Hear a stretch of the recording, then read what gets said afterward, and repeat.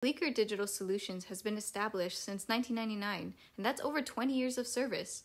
They offer many different products and services, but this tutorial will show you how to mail your film to Bleeker. First off, you want to get a Ziploc bag and you're going to put your film in it. This will help keep the film lightly protected as well as all together if you have several rolls like I do here. And I like to remove all the excess air. Not anything crazy, but just so that way it doesn't take up a lot of room in the package. Next, you're going to go to bleekerdigital.com. Here I have it on my iPad. Make sure you have the URL correct. On the ribbon menu on the top, you're going to select Mail Film. This link will take you to a mail order form in order to send your mail in correctly. Here you will fill out all your basic information as well as the options to dev, scan, and print. You can send this form in online or you can also print it out and put it in your mailer.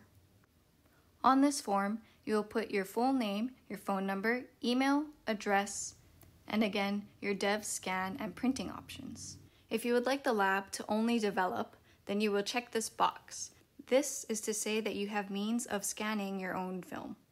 Bleeker does cut the rolls into strips before shipping it back to you. If you are picking up in person, you do have the option to have your negatives uncut. If you would like Bleeker Digital Solutions to develop and scan your negatives, be sure to select the second box. In the drop-down menu, be sure to select which option you want. Bleeker uses a dip and dunk machine to develop the film and also offers services for drum scanning. And they also offer many different resolutions and file formats. Scanned photos will be sent to your email via FTP link. If you would like Bleeker Digital Solutions to develop, scan, and print your photos, select the third option. You'll also need to select an option from the drop-down box. If you would like your printed photos to have a white border, don't forget to select this last box. When sending your film, you need to fill out the quantity of each type of roll you have. Additionally, if you have any special instructions, don't forget to fill out that box. Here, I have four 35mm rolls and one 120 roll. I also want the 120 roll to be developed as if it were a 400 ISO, so I'll indicate that in my special instructions. You can also use a Sharpie to mark your rolls if you want to push or pull your film.